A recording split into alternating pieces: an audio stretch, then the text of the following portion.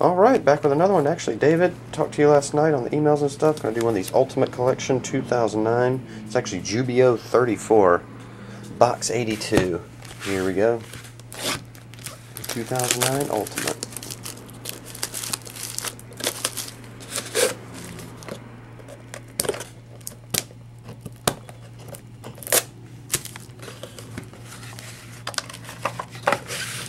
It's big.